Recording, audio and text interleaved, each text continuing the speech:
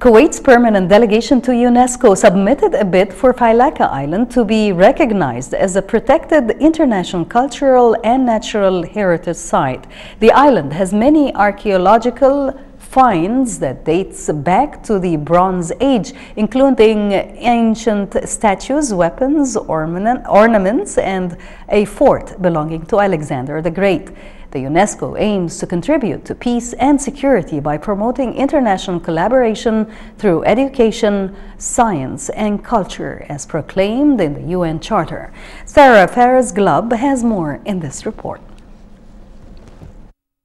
The United Nations Educational, Scientific and Cultural Organization, or UNESCO, has agreed to include Failaka Island as one of the contenders for the list of World Heritage Sites during the body's 37th General Assembly meeting held in Cambodia in June.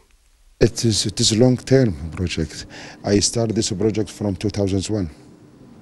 Now I reach the, the objective. I reached the target that Failaka became in the tentative list. Now the second target to be registered. The third target to have more sites like serial nomination in Failaka in the World Heritage List. The ancient history of Failaka dates back to the beginning of the second millennium BC, to the Bronze Age, when the Dilmun cultural phenomenon occupied the western shoreline and islands of the Arabian Gulf.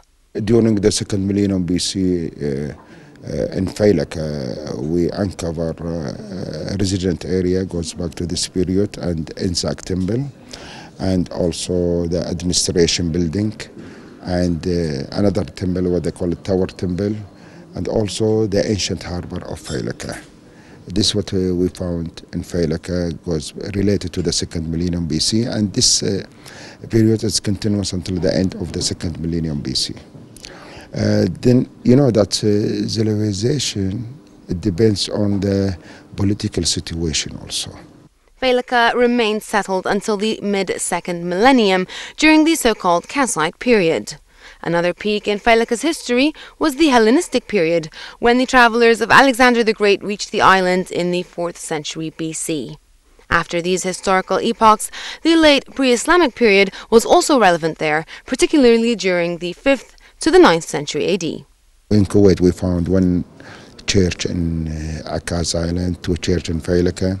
In uh, Emirat, they found a church in Sir Bani Yas. In Iran, they found in Kharg. They mention about uh, Bahrain, they mention about Qatar, they mention about Oman. So all the Gulf was occupied on the islands by uh, Christian in that time, what they call it the Eastern, Eastern church or Nestorian church. Failaka uh, Island is the most uh, important island in Kuwait because it has most archaeological sites in Kuwait. Uh, it has different sites, begins uh, with, with the uh, Dilmun civilization, which is dated dates back uh, from 2100 BC. This historical significance is tantamount to why this tiny sliver of land is now being recognized by one of the world's most influential bodies. Now it's accepted in the tentative list. Yeah. Now we are working to prepare, uh, to prepare the file for registration. So we have a parallel line to invite some expert from outside also, it will be a kind of workshop for our people, how to prepare the file, how to take care of the of the site, and also about management plan. So now we have a group, Kuwaiti young fellow. We train them for four years. Uh, they prepare the list and uh, actually I am very proud about them because they prepare uh, the tentative list and everything. Now they are working to prepare the dossier with our colleague, the expert from the UNESCO.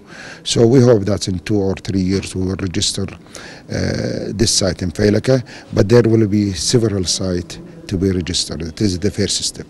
The UNESCO World Heritage Sites panel is made up of representatives from 21 countries that vet all the applications for sites enlistment.